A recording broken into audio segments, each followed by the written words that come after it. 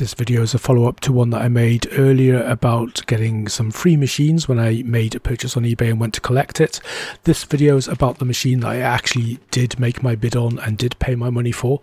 It looked quite promising in the listing and hopefully it's going to have some exciting stuff inside. So let's take a look.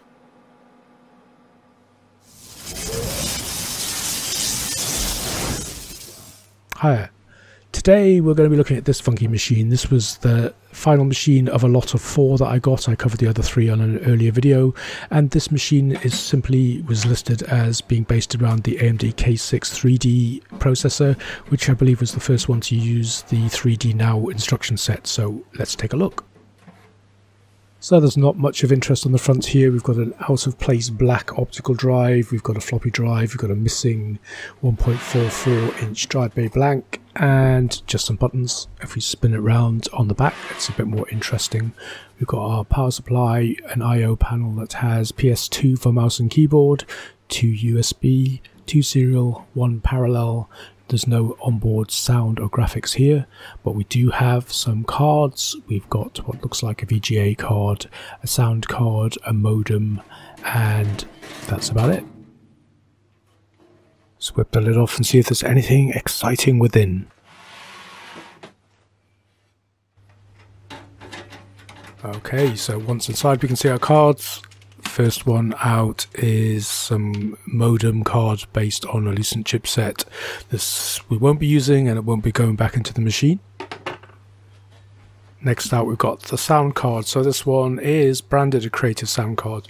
Model numbers ES1371. So this is kind of before they started assigning the CT numbers that we're all familiar with to cards that were purchased when they took over Ensoniq. So these cards, as far as I'm aware, I haven't actually used one. They're sort of bog standard PCI sound cards that have DOS drivers, but apparently their FM synthesis is rubbish, so probably won't be using this. And the graphics card is a ATI Rage 2C so that's Rage 2 3D. I think you have to take that 3D with a pinch of salt. It's not a great sort of card I would, as a companion to something like a 3DFX maybe, but nothing to write home about. Probably won't be using this either.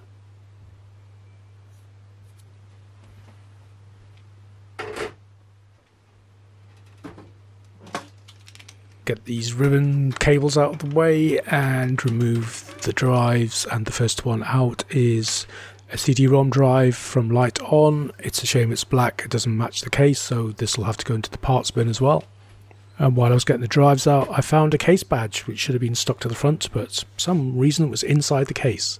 So Hill, and then there's a picture of a hill with a cross on top, so I wonder if that's a clue to this computer's previous owner. We've got a floppy disk drive from Mitsumi,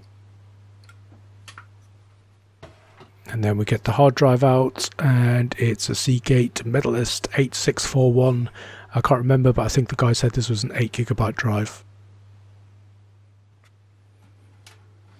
Case is all nice and clear now so we can get the motherboard out and this one's nice and conveniently mounted on a tray as well so we can just pop that out the back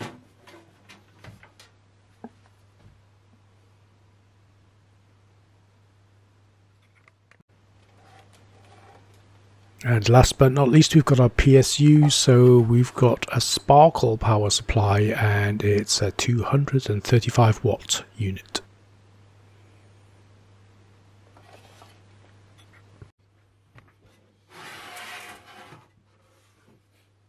When I saw the listing for this, it said K6 3D, and that was, I believe, the first AMD K6 chip to require the 100 megahertz front side bus to run it, and that led also led me to believe that this was a Super Socket 7 based system I was looking at. So I was particularly pleased to get it for the price that I did, and I don't have a Super Socket 7 system currently running. I do have another motherboard somewhere, but I've not got around to building anything around it yet. So this is indeed a TMC TI5VG Plus motherboard, and it has the 100 megahertz frontside bus. It goes up to a clock multiplier of 4.5, has all the various voltage settings for the I/O and core voltages that you need to run this kind of chip. It's got one AGP slot, five PCI slots, and two ISA slots, and it also has two different kinds of memory, so you can use either DIMMs or SIMMs, SD-RAM, FPM, or EDO there's quite a lot of uh, info kicking around on this motherboard. So I've got the manual, I've got the jumper settings, and I was reading a few reviews that are still kicking around on sites like AnandTech, and it seems like it was a fairly highly regarded board at the time. It has 512 kilobytes of level 2 cache. I think some later boards came out with a megabyte, but I think for the 512 um, boards, this was regarded as one of the best at the time. And so much for K6 3D. I don't know if you can see that. This is a K6 2 350.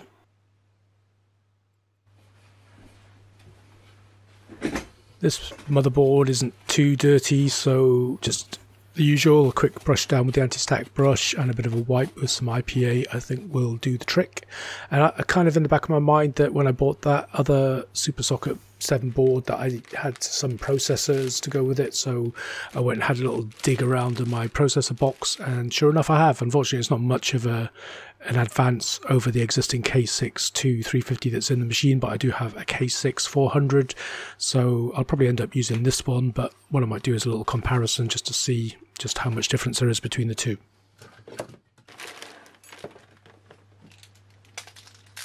Put this nice clean motherboard back onto its tray and pop the original processor back in. I'm not really sure about uh, thermal paste in this kind of chip because it's, I guess it's kind of full metal backs kind of heat spreader in its own right, but it can't do any harm to stick some on there. I also got this uh, other Socket 7 CPU cooler that I'm just going to stick on here for now because the other one is filthy and it's quite tall and it's got lots of nooks and crannies, so I'm going to take that downstairs and give it a good wash in the sink. In the meantime, I'm just going to stick this one on here for now. I've got the PSU back in the case. We gave that a bit of a dusting, cleaned up the fan and what have you. And now the motherboard drive tray can go back into position as well. We popped the original 64 megabytes back on there just for now. There's a couple of uh, empty DIMM sockets, so I'll probably be sticking a bit of extra memory in there before the end of the build.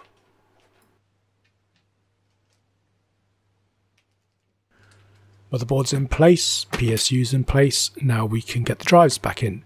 So I'm not going to put that horrible black Lite-On CD-ROM drive back in here, but for anybody who watched the previous video where I looked at the three freebies that I got alongside this machine, one of them had a rather nice creative six times DVD-ROM drive in there. So that is going to go into this machine and I'll just keep the original floppy and the original hard drive.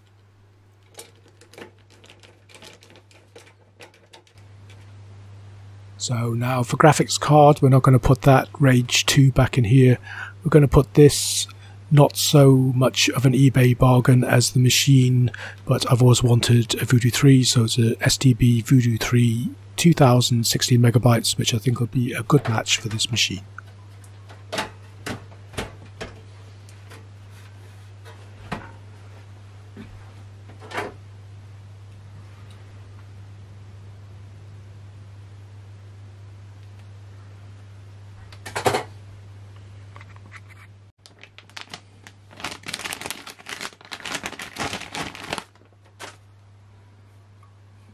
And likewise for sound cards, we're not going to put back that average creative Ensoniq based card. We're going to use this, an AWE64. It's been sitting on my shelf for a while, not really knowing what to do with it, so I think that'll be a good match for this machine also.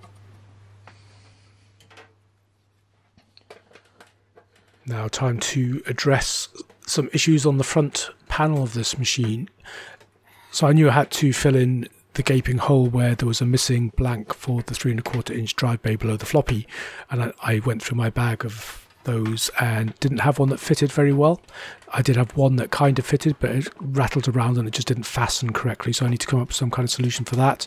I suppose I could have stuck a drive in there. Second drive, I do have some other sort of optical drives that I've been meaning to mess about with, kind of LS120 type things, but not LS120s just to, to have a bit of a play and that would have filled in the space.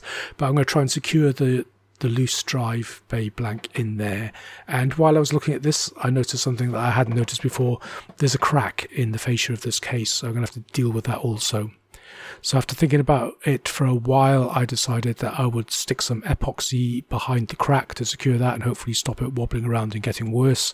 And I would just use some hot glue to secure that drive bay blank in place because hot glue is pretty flimsy stuff. So if I ever needed to pop it out, should I want to put another drive in there, that shouldn't be too much of an issue.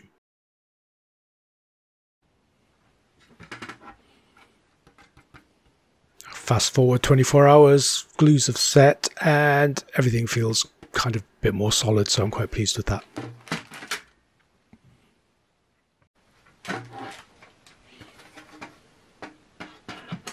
And that means we can get the fascia back on, and it's starting to look like something. So, pretty pleased with the way this is looking so far. Okay, I think we're at a point now where we can fire it up. Uh, I know it's going to work because the guy demonstrated it to me when I went to collect it.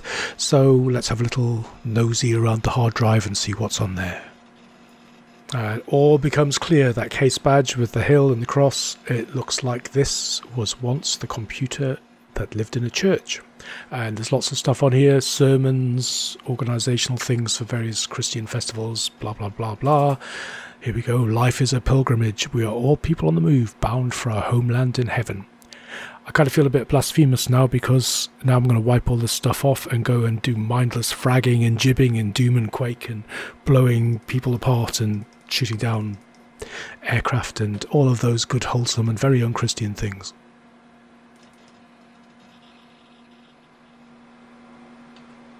So the usual thing into fdisk, wipe the partitions, create new ones, and we're going to do an install of Windows 98 SE.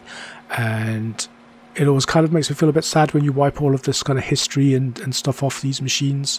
But I suppose it has to be done because it's personal information.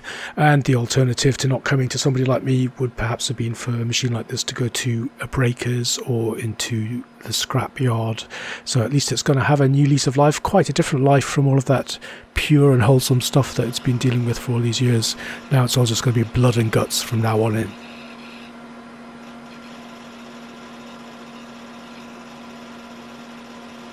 I gotta say, the way that that hard drive classes around, it doesn't exactly fill me with confidence for its longevity.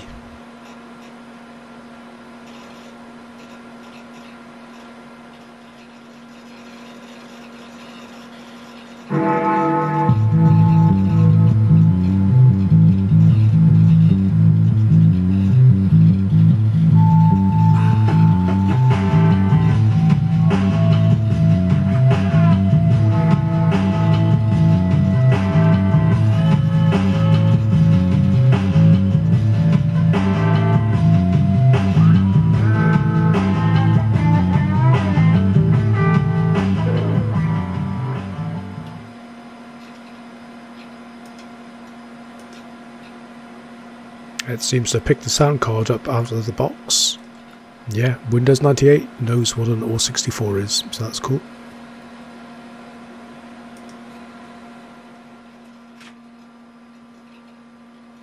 I'll get the drivers on for our Voodoo 3 2000 and that went pretty smoothly and there we've got all of our 3D FX features to mess about with in our video properties.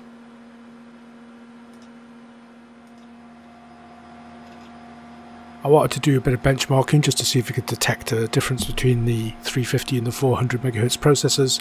So I tried to install firstly Final Reality and then 3D Mark 99, but I had all sorts of problems. Neither one of these, they both installed okay, but neither one of these programs would start once they were installed. So a bit of Googling, I found out there were some issues with Windows 98 SE and indeed with MMX. So there were various patches on the internet and I tried those, which got me a little bit further, got me into the programs, but they still wouldn't run properly. Um, I don't know whether that was to do with the 3D Now instructions confusing it or whatever, so I decided to just go with some more basic benchmarking for that. So I just picked two of the Phil's Computer Labs DOS benchmarking suite to, to do this on because it's just going to be a 50 megahertz difference and the rest of the system's identical. So to start with, we are going to use Landmark System Speed Test version 6 and that puts this processor kind of just above a Celeron 333 megahertz and above a Pentium 300 so I don't know how accurate that is for these K6 chips, but K62, I guess that maybe sounds about right. And then on the Quake time demo, we've got a time of 49.2 seconds and a frame rate of 19.7 frames per second. Out with the old, in with the new. So we upgrade the 350 to the 400 using the documentation that I managed to locate online. And this motherboard uses dip switches, which is good. Apparently, Super Socket 7 motherboards can be a bit of a nightmare configuring the jumpers. I guess that's because of all of the different voltage and um, frontside bus combinations and all that kind of thing. So that's pretty simple according to this documentation. I just have to flick two extra dip switches to the on position and it should be good to go for the 400. And there it is in place. So let's see if it makes any difference at all.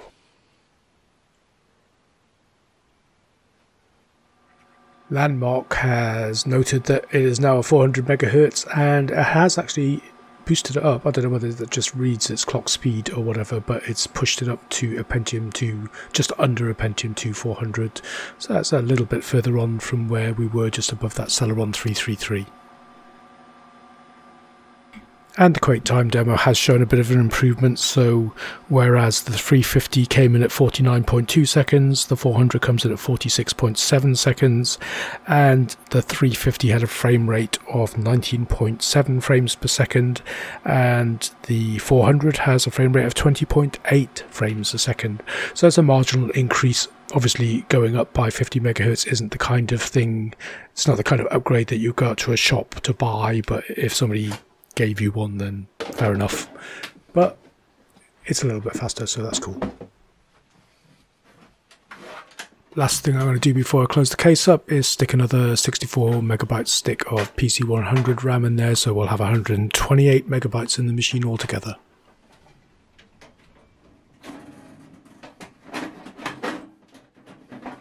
So for the final bits and pieces, we'll just get the case put back together again and then we can just give it a quick boot and make sure everything still works and also check that we've got our 128 megabytes of RAM now registered there, which we have.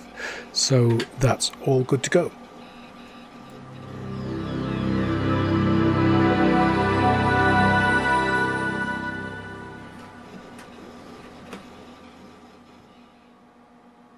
And like cracking a bottle of champagne over the bow of a newly launched ship, no new build is complete without a badge. So we're not going to put the the religious oriented hill badge back on here, striking me down with lightning. I'm going to put on a K6 2 badge, which is rather cool.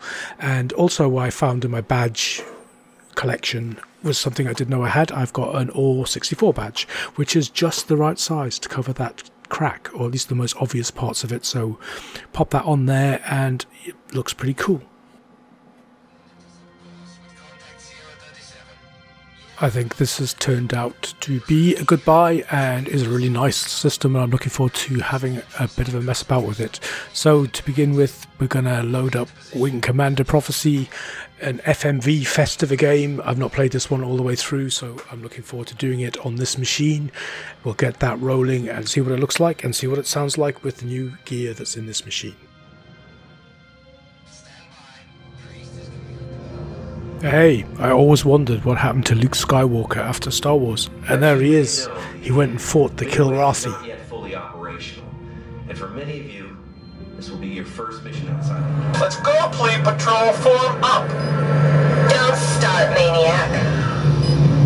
Now that you scrubs have figured out how to get here, let's engage our autopilots and get on with it.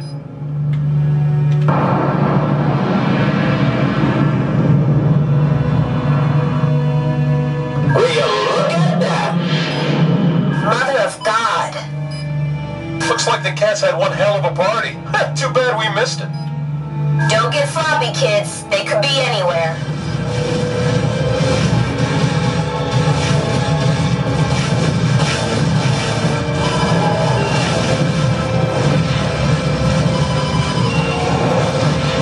Good shot for a plebe.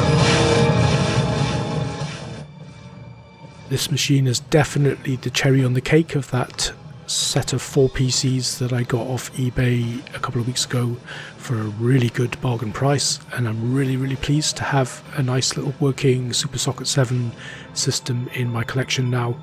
And in future, I might look to upgrading this to maybe a K63 or something like that, should I be able to find one for reasonable money on eBay. But in the meantime, I'm very happy with what I've got. It's got good graphics, good sound, and I guess a pretty nippy little processor for Socket 7 system. So I'm going to really enjoy playing through Wing Commander Prophecy on this machine. And that pretty much wraps it up for this video. So I hope you enjoyed watching it. And if you did, it'd be great if you consider subscribing, give me a thumbs up, leaving a comment below, or never watching again. Whatever you like. Anyway, that's it for now. I'm going to continue to play a little bit of Wing Commander Prophecy. Thanks very much for watching, and I hope you'll join me again for the next video. Bye.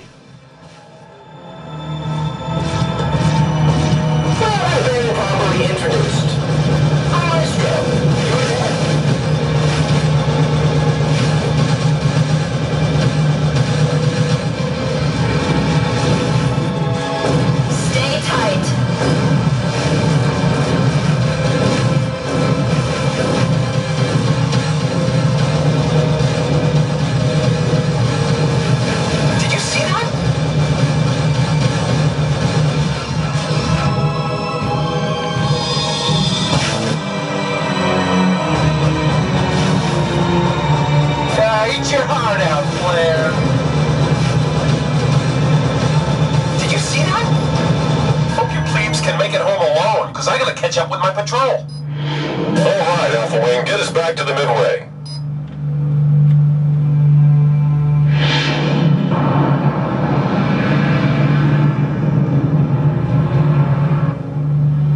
Mission. Alpha 1, requesting landing clearance. Nice flying, Lieutenant. You're cleared to land. Thanks for the escort, ladies.